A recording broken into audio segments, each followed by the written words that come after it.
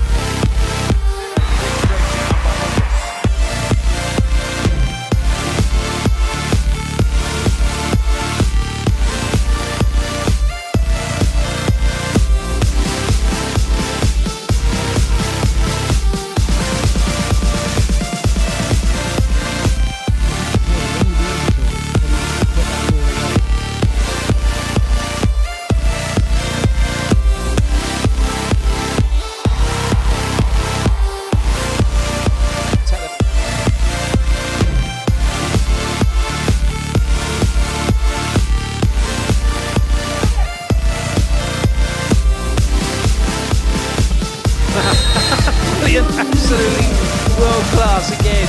I had a feeling.